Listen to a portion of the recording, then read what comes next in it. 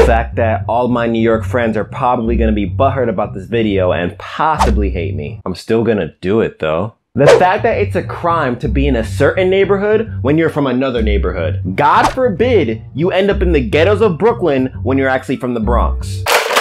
You in the wrong neighborhood, mother tourists. Listen, listen, I understand this is your first time in the city, but do you really have to take family photos right in the middle of the sidewalk? Every New Yorker at any point of the day has something to do. We gotta go to school, we gotta go to work, we gotta feed our kids. The last thing we need is for you guys to have a family bonding moment right in the middle of Times Square while we're trying to handle our shit. We already have to deal with these fake ass Spider-Mans and Batmans. We do not need you to add to the problem. Why do all interactions with non-New Yorkers go like this? Oh, uh, so so you're from New York, right? Yeah. So so like are you part of a gang or something? Cuz cuz if you are, could you could you like give me and my homies safe passage through your hood? Not every black and or Hispanic person from New York is a gangbanger, bro. Believe it or not, most of us are trying to avoid these hood traps so we don't get shot and or arrested. I like my life. And my anus. Why do all interactions with hobos go like this? Uh, uh, excuse me, sir, excuse me. You look like a fine, upstanding young gentleman. Listen, I- am just a dude here trying to make it in New York, trying to get some food for his family. So, so could you please, please just spare brother a dollar, please? Uh, that's all I ask, just a dollar. Yeah, man, I got you give you a dollar calming upstanding gentleman. I got you, bro. Here, take this. Uh, li- listen, man, listen, man. Can you just give me that five instead? I, I know you have it. I saw it in your wallet. Could you just, can you just please spare that five dollars instead? Because, you know, I'm, I'm a real struggling old man just trying to make, just trying to make it here in New York, just trying to feed it. Nigga, I'm broke too. You are not the only one struggling out here. That five dollars could have been my last five dollars that I had to my name. I gotta pay for school. I gotta pay all these bills. I gotta fund this channel. Don't come over here asking for a dollar and then try to bargain for five. Move with your inconsiderate ass. The fact that the majority of our drivers are psychopaths. Alright, listen. I may not have my driver's license yet, but I'm pretty sure that when that traffic light turns yellow and I start walking across the street, that does not mean you speed up to try and catch the light. Especially when you're two whole blocks away. Are you trying to hit me? Actually, actually, you know what? Hit me so I can sue your ass and then pay for my college tuition. Think it's a game out here, man? It's not. I'm broke. Why are we all just so angry? Like really, New Yorkers are the most hot-headed and aggravated people you will ever meet in your life. I don't know if you've ever truly just randomly stared at a New Yorker before, but this is usually what's going through our heads. Yo, why the is this dude looking at me, B? Like, do I got something on my face though? Bro, if this dude does not stop looking at me, I'm a while out. Are you dead ass, bro? Yo, keep looking at me. Keep looking at me, my nigga. Keep looking at me. I swear everything I love, I will walk over there and beat that ass.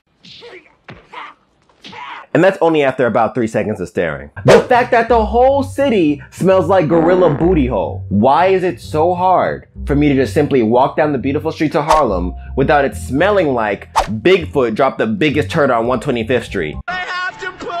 This is why I don't understand how some of these tourists can eat outside. Yo, why are taxi drivers such savages? Like for real, a taxi driver will cut off traffic, run over an old lady, and hit a street stand just to get one customer. I respect your hustle, but calm down, bro. You know how many people out here trying to catch a cab? You will never have to worry about lack of customers. You know why? The MTA is trash, bro. Like, oh my god. New York City is known as a place where you can get to wherever you want to get to using public transportation. But how can we do that when the MTA is literally up every hour on the hour? We are being held by the train's dispatcher. Please be patient. Yo, screw the train's dispatcher. I'm trying to get home. A normal train ride in New York consists of getting held up every five stops for 10 minutes. Why? I don't know. And they still have the nerve to push for the price of Metro cards to go from $2.75 to $3. Damn! Yo, before you even ask for a raise, fix your shit! That's like me working as technical support, breaking your computer, and going like, $300 please. No!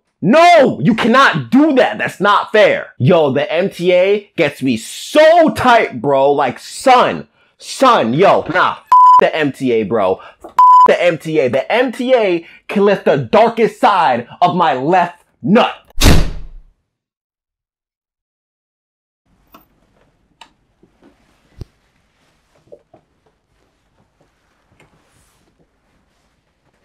Yo, Dochi, you good?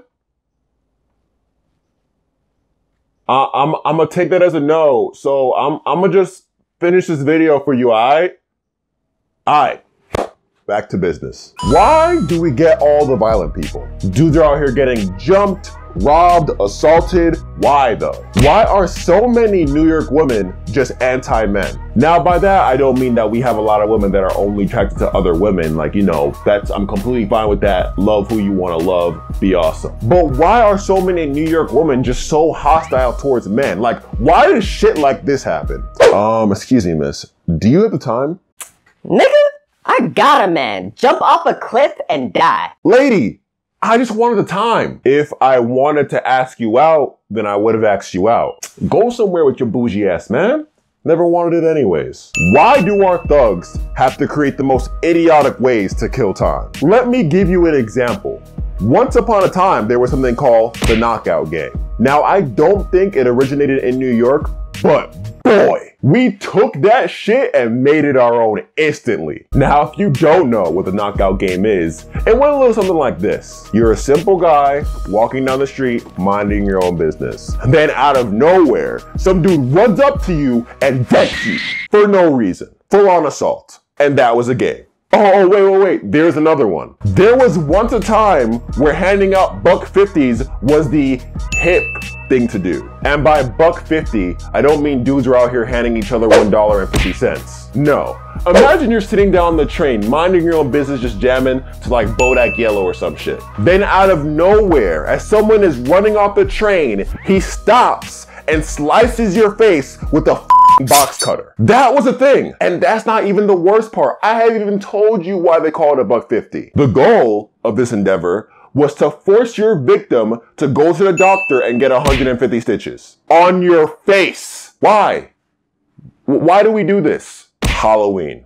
Now, I know most of you are like, but conscience, Halloween is so much fun. I know you hate it, but that's not a good enough reason to just say that Halloween makes New York bad. First of all, shut up. For you, Halloween may be a simple, fun time where you dress up as people that you're not and get free candy. What? To us in NYC, gang initiation.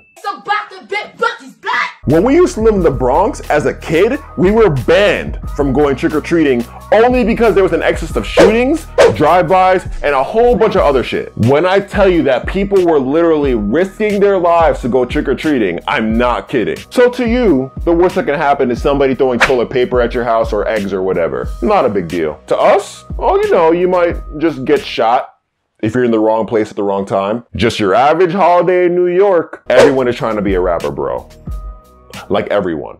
Now I have no issue with people following their dream. Do your thing. But I swear to God, if Doechii and I run into another trash ass rapper that's trying to sell us his mixtape at the Apollo on 125th Street, we're gonna turn the fuck up. Don't call yourself a rapper, then give me a CD with 90% bass. We get enough of that with all the mainstream music that's out today. Just stop it. Why is New York so friggin' bipolar with its weather. Today, you're wearing shorts. Tomorrow, you have to wear a winter coat with rain boots. Make up your damn mind, New York. New York is really and truly one of the hardest places to live in. It's so expensive here. We just want to get a nice one bedroom apartment so that Doechii can edit his dumbass videos in peace. But we also don't want a giant hole in our pockets. So yeah. New York public schools don't close down for shit. Jesus could be coming down from heaven right now to bless us with his presence, and I swear to you, schools will still be open. One day there's gonna be black ice on the road because of a blizzard, a bus is gonna go skidding and hit Doechii right in the face. It'll be hilarious. However, when that day does come, just know that we're suing your ass, New York. Watch yourself. The fact that we have to explain our slang to everyone outside of New York. Bro, don't ask me why I used it as to add emphasis to my previous statement. Don't ask me why I used the word tight to describe ensuing rage. Don't ask me why our summer, fall, winter, and spring attire must always include Tim's. That's just how we are. let us rock. And lastly, can we please stop getting these whack ass chain performances? Vanilla ice on the track. Don't you fall. Oh my god. The actual breakdancers, good singers, and skilled rappers, y'all can stay. You guys entertain me. I'll give you a dollar. But I know for a fact that if Doechii gets on another train where some dude does some random ass up on a pole and grazes his nose, he's decking him. On sight. And I don't want to see him get knocked out. It's my body too, you know? There should be like a bar of competence. If you're above this bar, by all means go ahead and perform shit on the train. But if you're below this bar, you suck. Train until you get better and stop performing. But those are the 20 reasons why being a New Yorker sucks. Let us know if you want us to make more videos like this. Thank you to our patrons for making this video possible. If you are not already a patron, go to our Patreon page in the description below and find out how you can support the channel while getting some dope ass rewards at the same time. If you enjoyed this video, please do not forget to share it, subscribe, and then hit the little bell notification so that you can keep updated with all stuff going on with the channel. If you're also from New York, go in the comment section below and tell us your biggest pet peeve about living in this city. Be easy, stay lit, and take care.